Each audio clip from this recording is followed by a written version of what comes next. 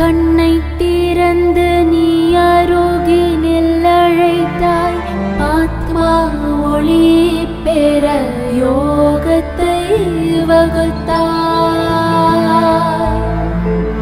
பூரண அமைதி எங்கனம் என்றே ஜனனமும் மரணமும் ஓய்ந்த பின் என்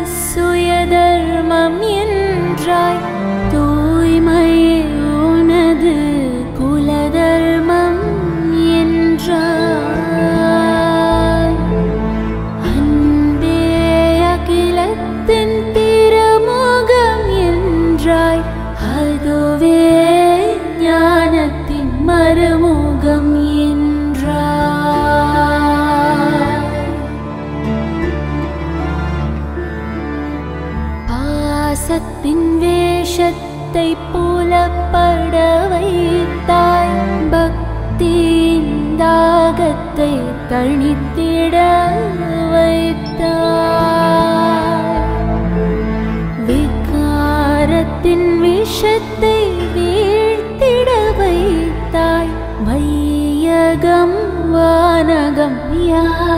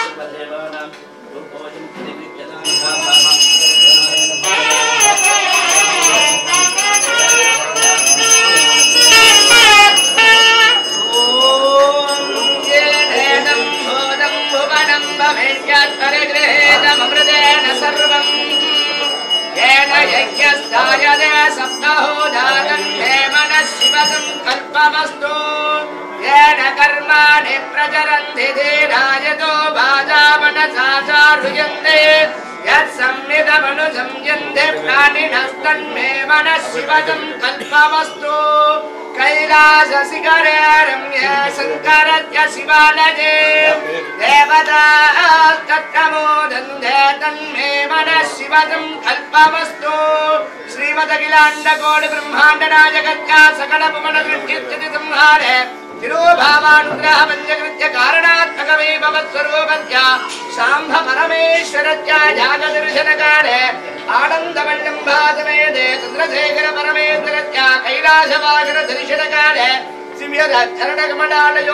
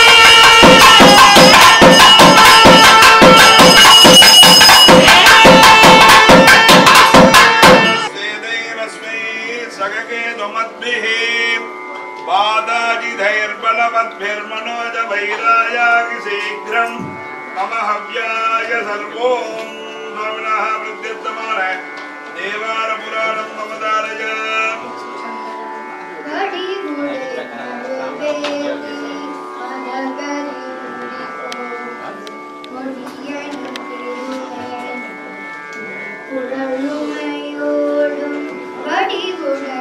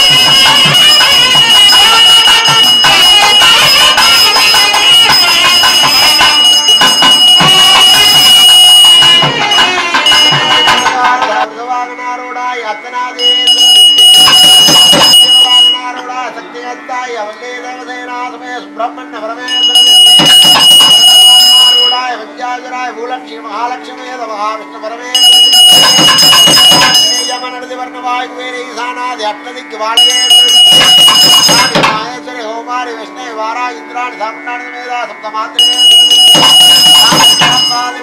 స్వర్ణాకర్షణ క్షేత్రవాళ వైరవేశ్వర స్వామి అఖండ నిర్మాల్యవక్షణ దివదండే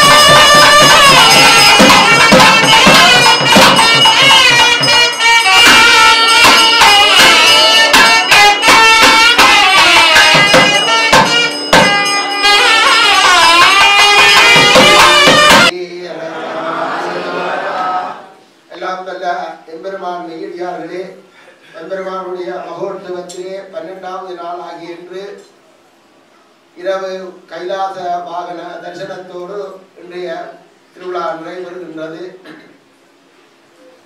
நமக்கெல்லாம் எம்மையெல்லாம் இந்த உலகத்திலே முதல் முதல் கடவுளாக வீட்டிலிருந்து அருள்பாலிக்கின்ற பரமேஸ்வரர் கைலாய மலையிலே இருந்து எங்களுக்கெல்லாம் காட்சி அளித்ததாக நாம் எல்லாம் நினைவூட்டி இன்றைய தினம் கைலாச வாகன காட்சியாக ஒவ்வொரு விழாக்களிலும் ஒவ்வொரு தரிசனத்தை நாங்கள் பெறுகின்ற பாக்கியத்தை பெறுகின்றோம். அதுவும் சிவனுடைய ஆலயத்திலே நமது இலங்கை திருநாட்டிலே ராவணன் ஆட்சி செய்த அந்த மண்ணிலே நாமெல்லாம் பிறந்த நாங்கள். சிவபக்தன் மிகவும் பக்தி சிரத்தியாக சிவனையே அந்த கைலாய மலையே எடுத்து இங்கே இலங்கைக்கு கொண்டு வருவதற்காக முயற்சி செய்த ஒரு மகாவீரன் அப்படிப்பட்ட ஒரு ராவணனே இறைவனே அவனுடைய வாத்தியங்களை கேட்பதற்காக அவனை தனது பெருவிரலாலே அமர்த்திய போது அது திருமுறைகளில் கூடியே வருகின்றது திருமறை காட்டு பதிகத்தில் கூடியே வருகின்றது. அவர் அவருடைய பெருவிரலாலே அமர்த்தியதினாலே அவனால் தூக்க முடியவில்லை. அப்பொழுது அவன் என்ன செய்வதென்று தெரியாமல் இறைவனுக்கு விரும்பி அந்த சாமகானத்தை தனது தலையையும் கைகளையும் புடுங்கி வாசித்ததினாலே இறைவன் அந்த சாமகானத்தை அவன் மூலமாக மிகவும் சங்கீதத்திலே தேர்ச்சி பெற்றவன் ராவணன். பலவிதமான தேர்ச்சிகளை பெற்றவன். அதனாலே தான் அவனுக்கு பத்து விதமான பத்து வித தலைகள் உண்டு. ஆகவே இலங்கையிலே வடமராட்சியிலே சொல்லுவார்கள் சதாவதானி என்று ஒருத்தர் இருந்தார் என்று. அவருக்கு பத்து விதமான ஒரு ஒரு நேரத்திலே பத்து விதமான வித விஜயங்களை கவனிக்கக்கூடிய ஆற்றலுடையவர்கள். அதனாலே அவருக்கு சதாவதானி என்று சொன்னார்கள். அதே போன்று இங்கேயும் நாம் ராவணனை பார்க்கின்ற போது அவனுக்கு பத்து தலைகள் இருந்தாலும் அவன் பத்து விதமான சிறப்புகளை பெற்றவன். அந்த வகையிலே ராவணனை நாமெல்லாம் தரிசிக்கின்ற பாக்கியம் கிடைத்திருக்கின்றது. ராவணன் எம்பெருமானை சுமக்கின்ற பாக்கியம் எங்களுக்கு கிடைத்திருக்கின்றது. ஆகவே நாம் சுமந்தாலும் நம் மண்ணிலே அரசாட்சி செய்த ராவணனும் சேர்ந்து சுமக்கின்றான். ஆகவே நாம் எல்லாம் புண்ணியம் செய்தவர்கள். இலங்கை திருநாட்டின் மண்ணிலே புண்ணியம் செய்த பூமி. ஆகவே நாம் எல்லாம் இறைவனை வழிபட்ட பாக்கியம் எங்களுக்கெல்லாம் கிடைக்கின்றது. நாம் இன்று கூடிய ராவணனுடைய ஞாபகார்த்தமாக பல புராணங்கள் வரலாறுகள் இன்று வரையும் சொல்லிக் கொண்டிருக்கின்றது. அந்த வகையிலே நாம் எல்லாம் புண்ணியம் செய்தவர்கள் எங்களுக்கெல்லாம் இறைவனுடைய திருவருள் பரிபூர்ணமாக கிடைத்திருக்கின்றது என்று நினைக்க வேண்டும். முதலிலே மனிதனிடத்திலே நம்பிக்கை வேண்டும். நாம் எல்லாம் நம் வாழ்நாளிலே இப்படியெல்லாம் புராணங்கள் சொல்லி இருக்கின்றது சாத்திரங்கள் சொல்லி இருக்கின்றது என்று எல்லாம் சொல்லுகின்றார்களே. நாங்கள் உண்மையிலே நாங்கள் புண்ணியம் செய்தவர்களோ என்று ஒவ்வொருவரும் சிந்தித்து பார்த்தோம். ஏன் புண்ணியம் செய்தவர்கள் என்றால் எப்படிப்பட்டவர்களாக இருக்க வேண்டும் என்றால் நமது மூதாதையர் செய்த புண்ணியத்தினாலே தான் நாம் இங்கே இருக்கின்றோம். ஆகவே புண்ணியம் எங்களுக்கு மீண்டும் மீண்டும் நாங்கள் செய்கின்ற ஒவ்வொரு காரியத்தினாலும் எங்களுக்கு அந்த புண்ணியம் எங்கேயோ ஒரு சந்தர்ப்பத்திலே எங்களை காப்பாற்றும் என்பதிலே எதுவித ஐயமும் இல்லை. ஆகவே இன்றைய தினம் இங்கே தரிசனத்தை பெற்றிருக்கின்றீர்கள். நாளைய தினம் சம்பர திருவிழா நாளை மறுதினம் இங்கே நடைபெறுகின்ற ரதோற்சவம் காலை இங்கே ஐந்தரை மணி அளவிலே பால் பூஜை ஆரம்பமாகி அதனை தொடர்ந்து ஆறு மணிக்கு அபிஷேகம் ஆரம்பமாகி அதைத் தொடர்ந்து ஏழரை மணி அளவிலே இங்கே பூஜைகள் இடம்பெற்று எட்டு மணிக்கு ஸ்தம்ப பூஜையும் எட்டரை மணிக்கு வசந்த மண்டப பூஜையும் இடம்பெற்று சரியாக ஒன்பது மணி அளவிலே வசந்த மண்டபத்திலே இருந்து சுவாமி புறப்பட்டு பத்து மணிக்கு ரதத்திலே ஏறப்பட்டு அதனை தொடர்ந்து பத்து மணிக்கு ரதம் இழுக்கின்ற நிகழ்வு இடம்பெறும். ஆகவே அனைத்து அடியார்களும் நேர காலம் தவறாது இங்கே வருகை தந்து எம்பெருமானுடைய ரதோற்சவத்திலே பங்கு பெற்றி எம்பெருமானுடைய திருவருளுக்கு ஆளாகும் வண்ணம் அறியத்தந்து இன்றைய தின பூஜையின் பலன் உபயகாரர்களுக்கும் உங்களுக்கு கிடைக்க